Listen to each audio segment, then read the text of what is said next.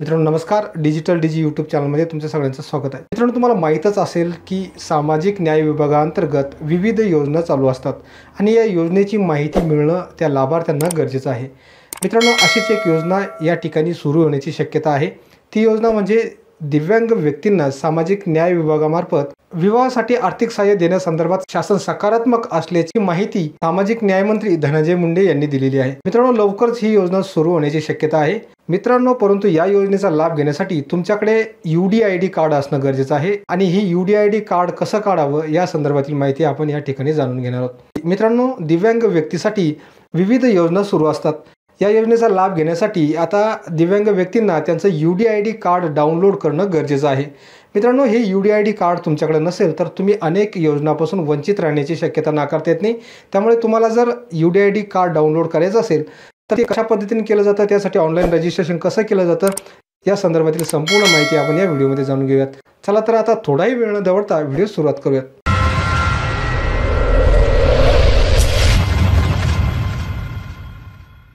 मित्रांनो नमस्कार. या ठिकाणी तुम्ही महासंवाद या वेबसाईटवर बघू शकता की दिव्यांग व्यक्तींच्या विवाहासाठी अर्थसहाय्य योजनेबाबत राज्य सरकार सकारात्मक. म्हणजेच मित्रांनो या ठिकाणी दिव्यांग व्यक्तींना विवाहासाठी अर्थसहाय्य मिळण्यासंदर्भातील योजना लवकर सुरू होऊ शकते आणि या संदर्भातील माहिती सामाजिक न्यायमंत्री धनंजय मुंडे यांनी दिलेली आहे. मित्रांनो केवळ विवाहासाठी अर्थसहाय्यच नव्हे तर इतर बाबतीत देखील दिव्यांग व्यक्तींना विविध योजनेचे लाभ दिले जातात. जर दिव्यांग व्यक्तींना आता यापुढे विविध शासकीय योजनांचा लाभ घ्यायचा असेल तर त्यांच्याकडे युडीआयडी कार्ड असणं महत्वाचं आहे. मित्रांनो हे युडीआयडी कार्ड काय असतं ते डाउनलोड कसं करावं त्यासाठी रजिस्ट्रेशन कसं करावं लागतं या संदर्भातील संपूर्ण माहिती आपण या व्हिडिओमध्ये जाणून घेणार आहोत. मित्रांनो हे यूडीआयडी कार्ड काढण्यासाठी दिनांक बारा डिसेंबर दोन हजार एकवीस ते एकवीस मार्च दोन हजार बावीस पर्यंत हे एक विशेष अभियान या ठिकाणी राबवलं जात आहे. तुम्ही जर दिव्यांग असाल किंवा तुमच्या परिवारामध्ये किंवा तुमच्या नातेवाईकामध्ये एखादी व्यक्ती दिव्यांग असेल तर अशा व्यक्तींना शासकीय योजनेचा लाभ घ्यायचा असेल तर त्यांना यूडीआयडी कार्ड हे डाउनलोड करणं गरजेचं आहे.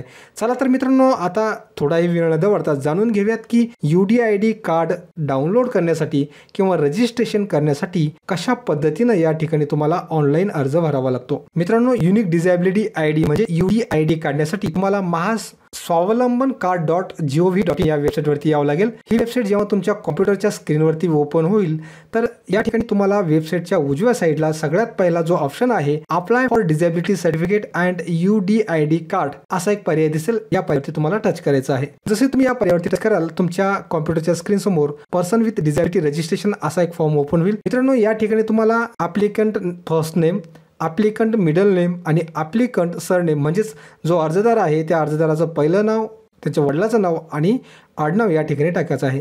सेम प्रोसेस तुम्हाला या ठिकाणी देवनागरी लिपीमध्ये करायची आहे. मराठीमध्ये या ठिकाणी टाईप करायचं आहे. त्यानंतर applicant's father name applicant's mother name date of birth म्हणजेच अर्जदाराच्या वडिलांचे नाव अर्जदाराच्या आईचे नाव आणि अर्जदाराची जन्मतारीख या ठिकाणी निवडायची आहे. त्यानंतर मोबाईल नंबर टाकायचा आहे आणि ईमेल आय डी असेल तर टाका नसेल तर सोडून द्या. त्यानंतर मार्क ऑफ आयडेंटिफिकेशन कॅटेगरी निवडा ब्लड ग्रुप निवडा मॅरिटल स्टेटस अर्जदाराचं लग्न झालेलं आहे किंवा तो अविवाहित आहे हा एक पर्याय या ठिकाणी तुम्हाला निवडायचा आहे. डिझॅबिलिटी पर्सन विथ डिझॅबिलिटी तर या ठिकाणी अर्जदार जर स्वतः अर्ज करत असेल तर या ठिकाणी सेल्फ हा पर्याय निवडायचा आहे. आणि अर्जदार इतरांकडून अर्ज करून घेत असेल तर त्या संदर्भातील नाते या ठिकाणी तुम्हाला निवडायचं आहे. नेम ऑफ गार्डियन म्हणजे अर्जदाराचे जे पालक आहेत त्यांचं नाव या ठिकाणी टाकायचं आहे. त्यानंतर अर्जदाराचे जे पालक आहेत त्यांचा कॉन्टॅक्ट नंबर या ठिकाणी तुम्हाला टाकायचा आहे. असेल तर टाका नसेल तर सोडून द्या. आणि या ठिकाणी फोटो देखील तुम्हाला अपलोड करायचा आहे. फोटो आणि सिग्नेचर दिल्या फॉर्मॅटमध्ये अपलोड करायचा आहे. फॉर्मॅटमध्ये JPG JPG G I F P N G आणि त्याची साईज जी आहे तीन के बी ते तीस के बी पर्यंत असावी. या साईज दरम्यान तुम्हाला हा फोटो या ठिकाणी अपलोड करायचा आहे. त्यानंतर ऍड्रेस फॉर कॉरेस्पॉन्डन्स जो पत्रव्यवहाराचा पत्ता आहे तो या ठिकाणी टाकायचा आहे. त्यानंतर परमनंट ऍड्रेस टाकायचा आहे. जर परमनंट ऍड्रेस आणि कॉरेस म्हणजे पत्रव्यवहाराचा पत्ता जर वेगवेगळा असेल तर वेगवेगळ्या टाका. जर एकच असेल तर फक्त या ठिकाणी सेम ॲज अबोव या चौकोनी समोर टिक करा. त्यानंतर एज्युकेशनल डिटेल्स या ठिकाणी एज्युकेशनल डिटेल्स टाकणं गरजेचं नाही. परंतु असेल तर टाका. नसेल तर नेक्स्ट या बटनवरती क्लिक करा. त्यानंतर या ठिकाणी डिझॅबिलिटी डिटेल्स अपंगत्वाचे तपशील आहे ते या ठिकाणी टाकायचे आहे. Do you have a disability certificate जर तुमच्याकडे अपंगत्वाचं प्रमाणपत्र असेल तर या ठिकाणी यस किंवा नो या पर्यायावरती क्लिक करा. उदाहरणार्थ या ठिकाणी आपल्याकडे अपंगत्वाचं प्रमाणपत्र आहे म्हणजेच डिझॅबिलिटी सर्टिफिकेट आहे.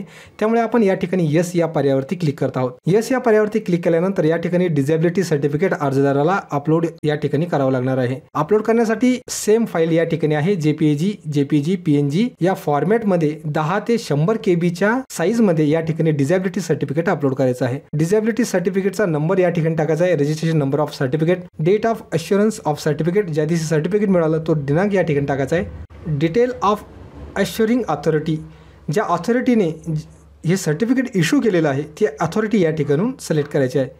आणि डिझॅबिलिटी पर्सेंटेजमध्ये तुमचं अपंगत्वाचं प्रमाण किती आहे ते प्रमाण या ठिकाणी टाकायचं आहे. हे सर्व टाकल्यानंतर डिझॅबिलिटी टाईप या ठिकाणी निवडायची आहे.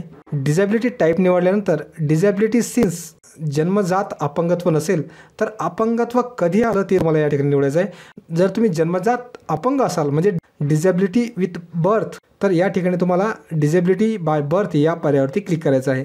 आणि त्यानंतर डिझेबिलिटी एरिया या ठिकाणी निवडायचा आहे. Hospital training disability pension card number ही माहिती असेल तर टाका नसेल तर सोडून द्या. डिझेबिलिटी ड्यू टू ही देखील माहिती तुम्हाला मेंडेटरी नाही आहे आणि हॉस्पिटल देखील मेंडेटरी नाही आहे परंतु जर तुमच्याकडे ही माहिती अवेलेबल असेल तर तुम्ही या ठिकाणी दिलेल्या पर्यायामधून ही माहिती या ठिकाणी निवडू शकता. ही संपूर्ण माहिती निवडल्यानंतर नेक्स्ट या पर्यायावरती क्लिक करा. मित्रांनो आता जी माहिती तुम्हाला द्यायची आहे ती आहे एम्प्लॉयमेंट डिटेल्स मित्रांनो या ठिकाणी एम्प्लॉयमेंट डिटेल्समध्ये तुम्हाला तुमची माहिती या ठिकाणी टाकायची आहे.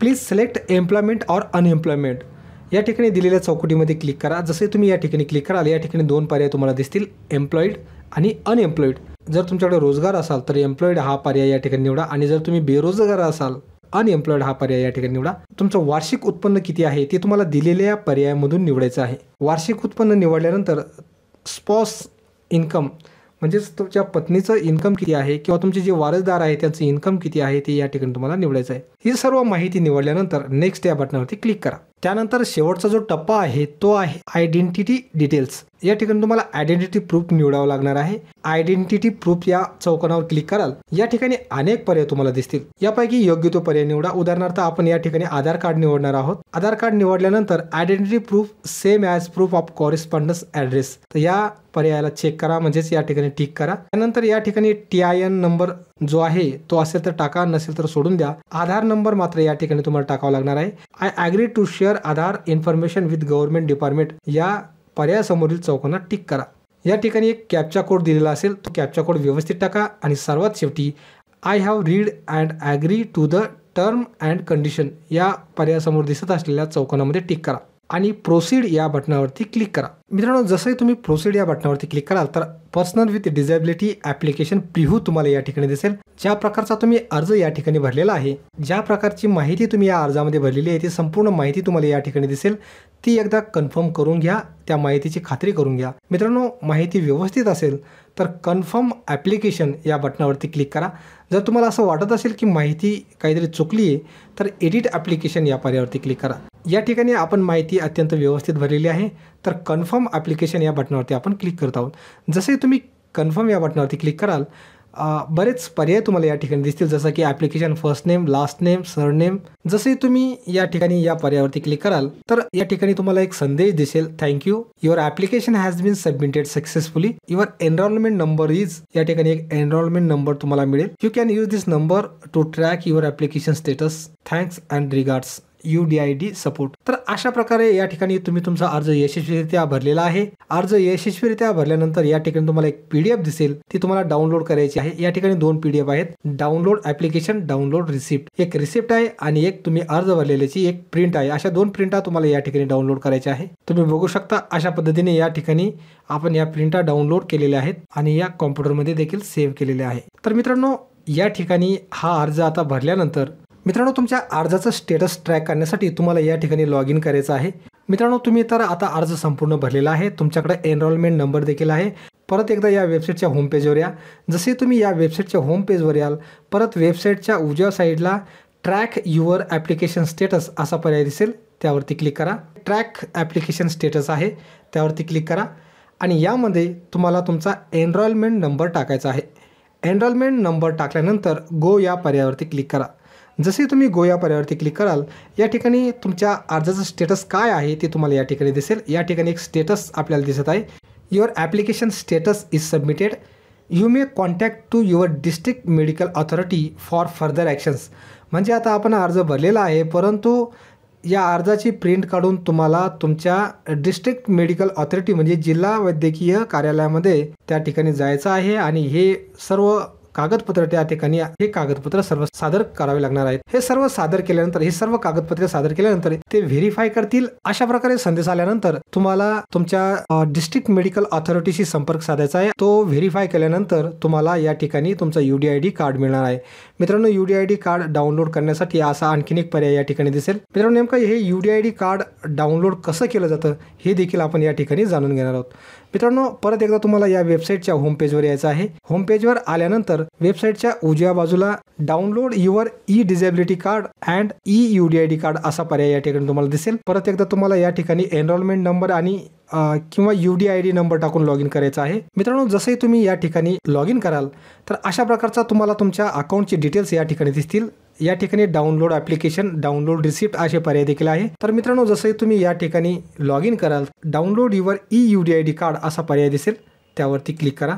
जसे तुम्ही या पर्यायावरती क्लिक कराल तर तुमचं U D I D card या ठिकाणी डाउनलोड झालेलं असेल. तर मित्रांनो तुम्ही बघू शकता अशा प्रकारे युनिक डिझॅबिलिटी कार्ड या ठिकाणी डाउनलोड झालेलं आहे. तुमच्या कॉम्प्युटरवर हे unique disability I D card download करू शकता. मित्रांनो व्हिडिओ आवडल्यास व्हिडिओस लाईक करा शेअर करा आणि कमेंट्स करण्यास विसरू नका. धन्यवाद.